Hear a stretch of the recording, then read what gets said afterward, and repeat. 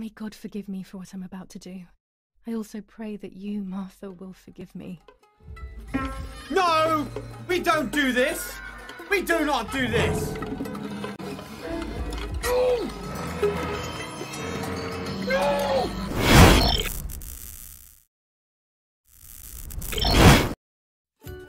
Welcome back to the MGN channel. I'm your host, Cornish. I've missed everyone here, so we're going to be doing a lot more content. I'm back, and we're going to be discussing the...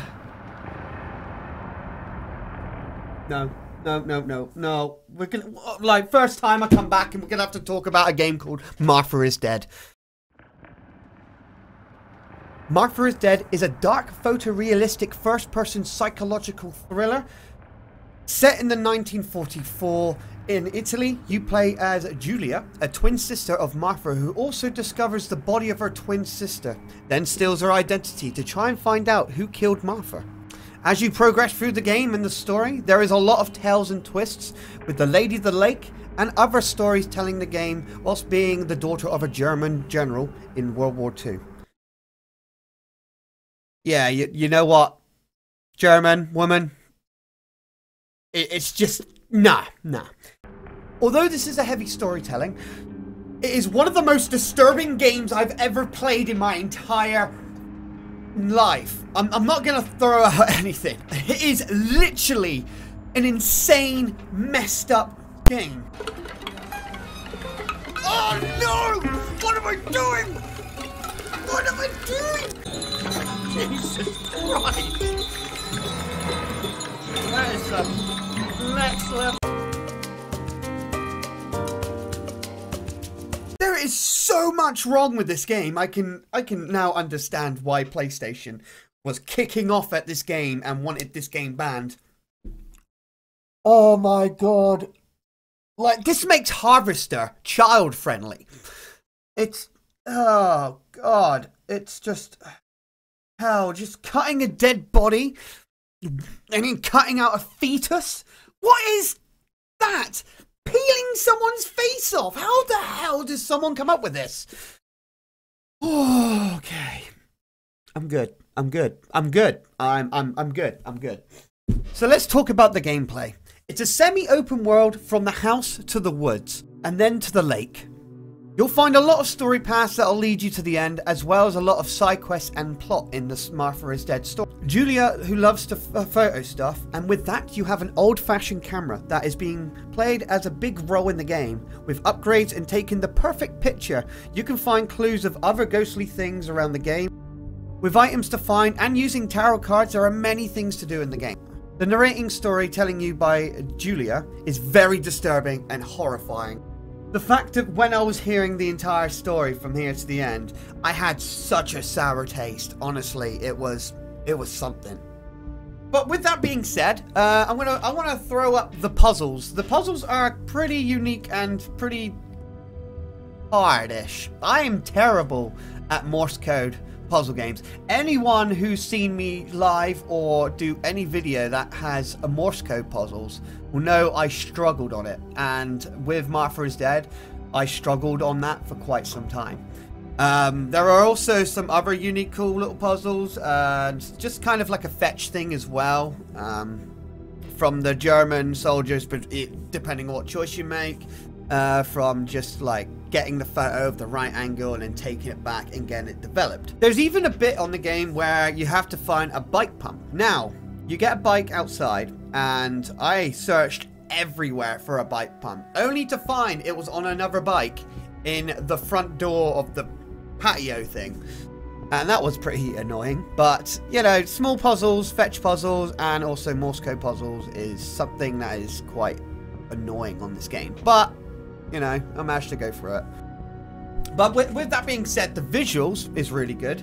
Um, as it's a photorealistic, they went full hard on this. They really did. Um, from the from the beautiful views of the Italy and like the woods area to the face face peeling. God, why? Just why? To the to the rotten corpse with maggot infested whilst delivering a baby? To no, no, No, I don't want to think about it. Oh God, no. To the to the cutting open your dead sister, finding a deformed. I really don't like talking about this. I for my first video back to do a review, and I had like, and I'm doing Martha is dead. Honestly, the game has is really disgusting. Visual wise, it's disgustingly beautiful. May God forgive me for what I'm about to do. I also pray that you, Martha, will forgive me. No! We don't do this! We do not do this!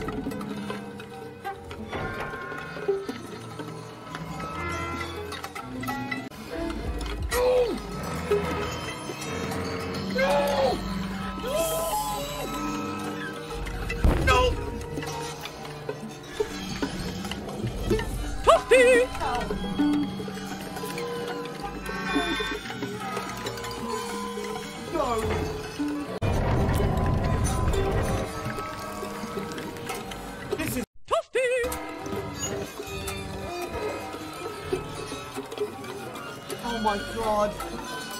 Oh my god! How, how- no! I, I think we're done tonight, guys. That what the f- That was two heads and a baby! Martha was pregnant. Um, I can't do this. This is done. This is done. fetus We can't do this anymore. Is this even allowed on Twitch? And overall, it's one of the messed up games I've ever played, but it's a dark storytelling, and you've got to fig- like remember it's a dark storytelling, and there's going to be some disturbing scenes. The fact that they um, they put a suicide helpline, a safeinourworld.org, I will put that link in the description, uh, just for anyone who is suffering from mental issues or suicide thoughts, etc., etc. Like the the fact that because this game has that, there is a lot of self harm. There's a lot of disturbing images, some horrible, horrible scenes, and uh, enough to make you all messed up. If I was to play this game, it would be life or death. And the fact that um, if someone put a gun to my head, I would play it.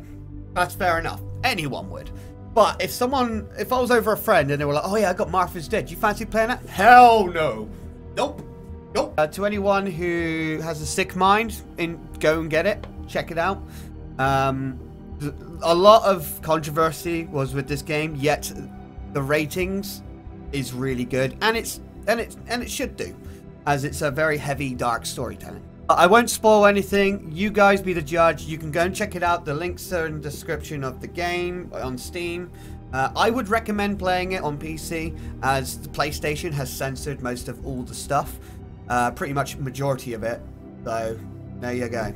Well, that's my review. I do hope you enjoyed this video. Hit the subscribe button, help the MGN.GG grow or MGN.TV YouTube.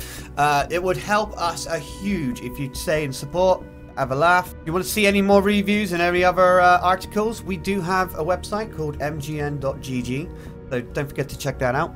And that is Cornish signing out. You guys take care and have a wonderful night.